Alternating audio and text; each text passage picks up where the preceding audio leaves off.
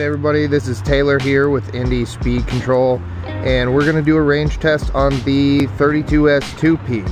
Uh, we just got this board built the other day and haven't really taken it on a maiden voyage. Um, this thing has a Jetfleet F6 on a Cannon Core V3 using a Fusion Core mount, and we have our 32S2P with a SmartLink.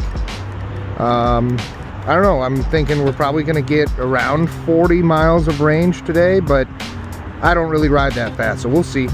Uh, we're gonna be tracking it on GPS and everything, and, and we'll just see how it goes.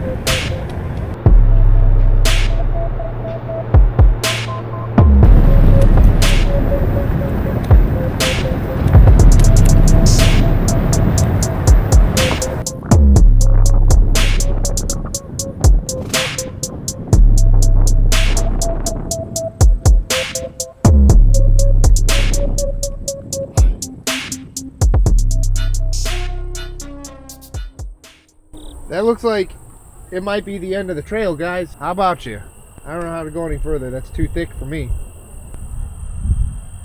All right, we have made it to the end of the trail and my legs are pretty tired, so we're sitting down and taking a break. Looking at my floaty app, we have gone 22.1 miles and the battery is currently at 59%. I wanted to show you guys a little bit about this board. First of all, pretty unique build. We have two 32S 1P batteries, one in the front and one in the rear. We have a single BMS that is running the entire system. This is the SmartLink setup that we have at Indy Speed Control. There is no power button. You can see there's nothing there. There's nothing here to turn it on. You just push to start. And to turn it off, we have a sleep timer set. I think this one's set for 30 minutes, maybe 10 minutes, I can't remember. We have, instead of a foot pad sensor, we have a magnetic sensor. So as soon as I connect that, the board is on. And as soon as I remove that, the board is off.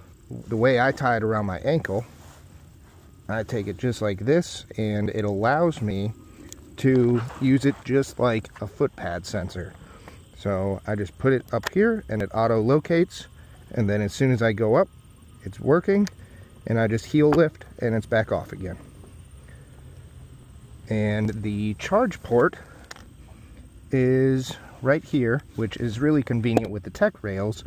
It is using the other hole in the torque box and so it's without the tech rails it's really difficult to plug it in but with the tech rails it's pretty easy to put your charge port in there. But there we go. We're going to turn around and head back the other way.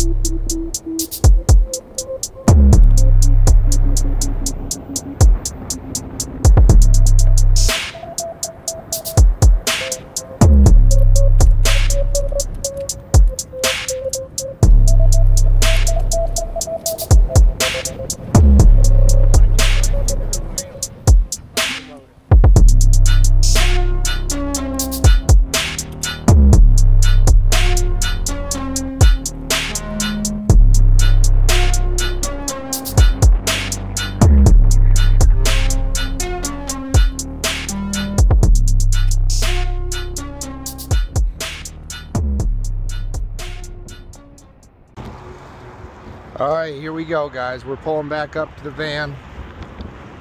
Let's see, we got 44 miles even.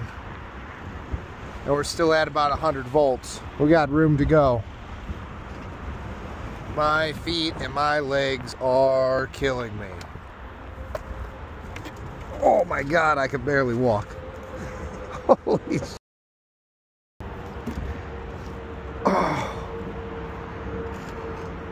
What are we? It's almost settling up at 101 volts.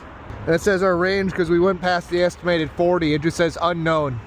We don't know. We don't know how far you're going.